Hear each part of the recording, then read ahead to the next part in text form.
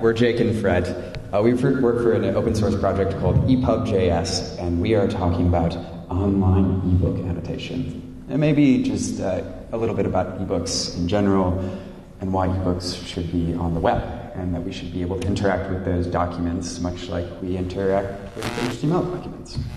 Um, so at the moment, people are, are obsessed with how they read books, whether it's on a Kindle or an iPad or on you know good old printed pages. And this conversation, though important, takes place in the shallows and misses the deeper currents that, in the digital age, are pushing American culture under the control of ever fewer and more powerful corporations. Um, this is George Packer in the New Yorker article, Cheap Words. Um, and I think what I take away from that is this whole discussion that takes place in common circles, though very interesting, of ebook versus real book kind of misses misses a, a big point. It, you know, there are more interesting questions. For example, how did that book you're reading come to be made and wind up in your hands? In other words, exploring the nature of content discovery and creation and distribution. Um, and this is the present. Uh, we have these closed, centralized platforms, walled gardens of paid digital content uh, non interoperable. Um, and the current state of annotations uh, in ebook readers is going is actually pretty sucky, but um, Fred's going to talk about it a little bit more, and then we're going to talk about how to make it better. I think this is attached to your pocket.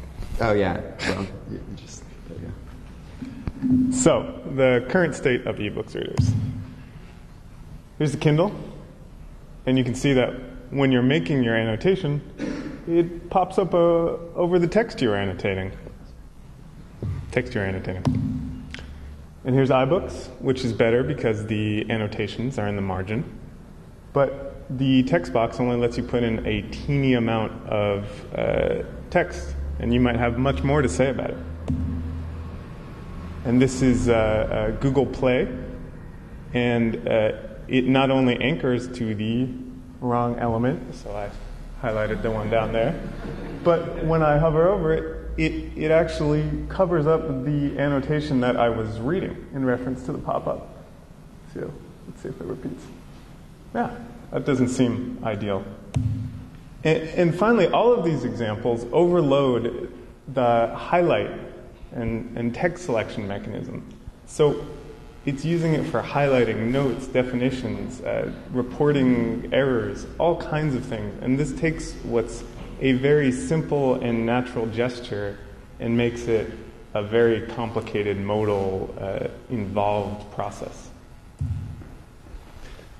And a big point is that these notes are non interoperable and locked into these proprietary formats, um, which is like great for your notes. Like, um, you know, my own thinking, my own, uh, my own contributions to the, this text, uh, that's much less useful to me as, as, an, as an academic, as someone who's a writer. Um, and not to mention, they're not shareable very easily in the way that um, certain other things we've seen a lot of today, such as social book and Hypothesis, are. So this kind of brings us to EPUB. Um, you know, I'm a big fan of, of standards. I, I, feel that standards are things that we can all build off of, um, and that they're good for competition and diversity and um, good design. EPUB is a web-friendly document. Um, I don't know how much you guys know about EPUB, but just really shortly, it's it's kind of like a website in a, in a package, um, and it's an extremely powerful package of HTML, CSS, and JavaScript. Um, and uh, one of the things that we were sort of bugged about is that there was not a lot of support for this package. Like, honestly, it's, this library is not that complicated, like, um, because the browser handles all the rendering of the CSS and the HTML and the JavaScript, because browsers are really good at doing that. Um, so we started this EPUB.js project because we wanted to see more web ebooks. We wanted to see long form com- content on the web um, in ways that we could interact with it and do things like open annotation. So we started EPUB.js. A few things about it: open source, free BSD license, um, six, uh, 600 stars on GitHub, and hopefully growing. Um, lots of people participating, participating in opening issues, and new features being added all the time. Um, and Fred's going to talk a little bit more about EPUB.js and what webbooks can do for not only open annotation but just uh, in general. Yeah, so again, as you said, it's not that complicated of a task. It's uh, EPUBs are HTML and CSS, and it's just a matter of getting them out of that package and displaying them primarily in the correct order. Uh, so what we wanted to create was a simple interface for taking your, your book and rendering it to the screen. Uh, so you can see here is the basic example to get something to show up. And once you know uh, custom elements start taking off, are, are more used, it can be as simple as embedding a video. So uh, you put the source of your book in, and something like this comes out, where you have uh, paginated text and you have the ability to go back and forth and to change pages and all of the things that you'd expect a book interface to let you do. Which brings us to annotations.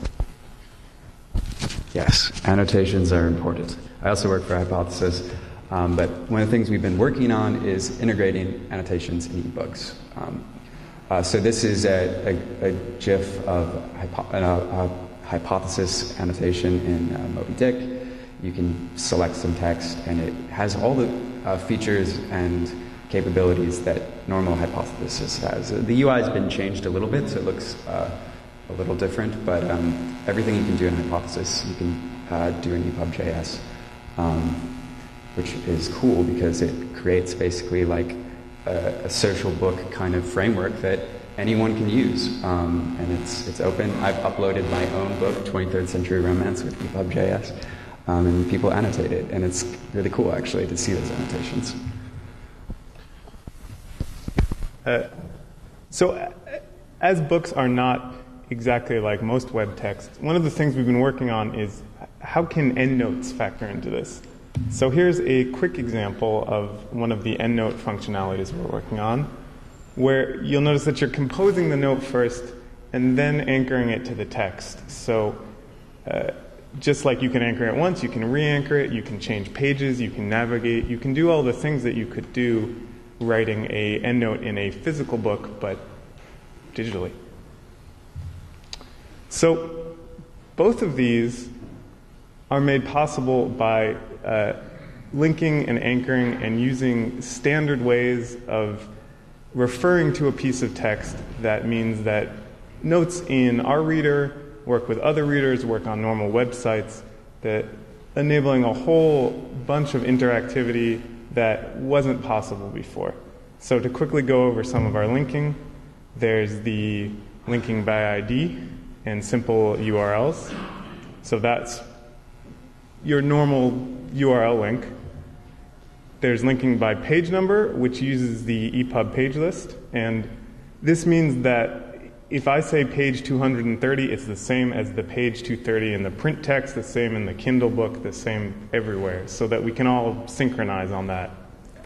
And finally, uh, using EPUB CFI to refer very accurately to a piece of text and a character range, and there's a whole bunch more things that this can do that you guys should definitely check out on the IDPF's website.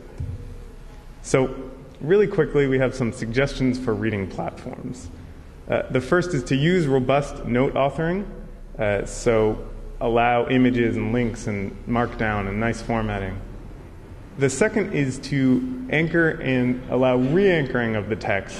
Uh, this is really important because you know you might get three pages later and realize that part of this is referenced in the note that you were trying to make. Uh, leave text selection for highlighting. Uh, so hopefully there's other actions that we can use to create notes, such as double clicking or uh, notes in the sidebar or the toolbar.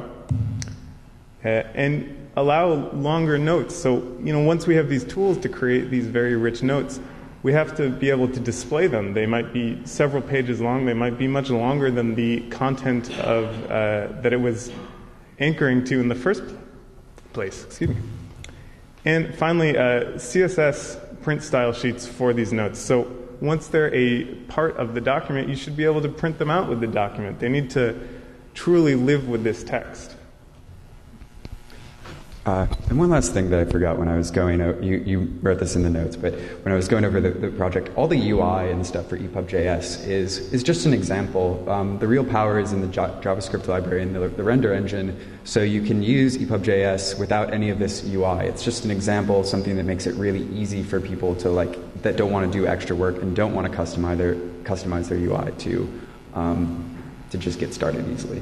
Um, anyway. Uh, so uh, the note I wanted to end on is this whole, I think there's this idea of platforms versus ecosystems. I think web standards and standards in general, such as EPUB, allow for more ecosystems where we can all be a part of things, where we don't try to build um, systems such as that are closed and proprietary uh, and often hinder interoperability. Um, and so, like the ideas of books in the browser um, based on open standards and open annotation allow for a lot of really exciting possibilities in which I think uh, as content as a content creator myself uh, uh, could be a really exciting future, a much more exciting future than if uh, Kindle comes out with its own version of annotation and iBooks has its own version of annotation, and they all are in their siloed kind of space. And you know that's not an exciting vision to me, both as as an author, um, but also as as a technologist.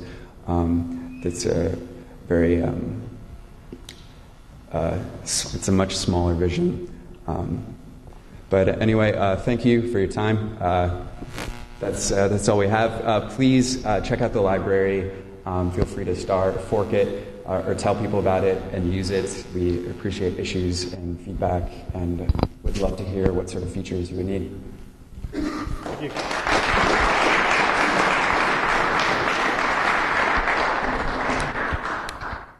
Do you have some standard mechanism for uh, embedding or maybe even assigning permanent identifiers to the EPUB? So it would be nice that if I download it and use it on my thing, that then I could transfer the annotations I made to the online version or to some other version? Yeah. Uh, yeah, so that's the hope behind linking, and particularly using the EPUB CFI. So that's a standard that we use internally for all of our anchors and hopefully your reader locally will use as well. So they should be pretty interoperable. Yeah, the, the IDPF is also working on perhaps unique identifiers for, for books because there's a lot of problem. I'm not sure if that totally got to your question. There's a lot of problem with like ISBNs, for example, and, and versions of ebooks. So uh, this is this is a, a metadata problem, and uh, you know, I think uh, uh one of things that like th- things like canonical URL or um, like are just not quite used in ebooks yet, but they could be. Um, and I feel like there's a lot of work that needs to be uh, done in that particular area, so it's much easier to do exactly what you're talking about. Um. oh, and I forgot to mention, um, we're um, the IDPF is great to work with. Uh, they also have their own project called Readium, which you should also check out. They're making an SDK for e-ink devices, and they, we've, we've uh, talked with Bill and the others, and they're very interested in implementing open annotation in their reader, um, and, and, and also adding sort of support for um, e-ink devices. And I, they can't be here, so I just wanted to say that for them. Uh, Frederick Hirsch, Nokia, this is a weird question because it's not JavaScript and web, but there's Calibre, which people use to manage EPUBs and so on. I, I think you're probably familiar with it. Mm-hmm. And I'm just uh, thinking off the wall whether somehow that could be fit integrated with this or, or something could happen. And I realize that they're, they're kind of separate domains. But have you talked to them at all or thought about how the annotations might move? I use it all the time, but I've, I've never spoke with them. I mean, to me, uh, there is this sort of separation on what's possible when the books are web resources online versus on my local computer. Um, but yeah, I love Cal. It's very useful. Uh, not a question, but just a quick note regarding the IDPF. Um, there is a formal um, process ongoing in the IDPF at the moment um, to standardize how open annotation will be used with EPUBs. Um, there's the first draft at idpf.org slash EPUB slash OA. Um, comments are very welcome either to me or to the. Um, yeah, I, I, saw you were talking about JavaScript in the EPUB file. I was wondering, is that in the actual book file, or is that just part of the reader? And if it's in the actual book file, what does it do? Um, there can be JavaScript in the book file, but our library primarily renders out the book file. So uh, it would be on your website, and, and you would be grabbing a book file and rendering that to a div, uh, adding the JavaScript to your site, not into the book. Thank you.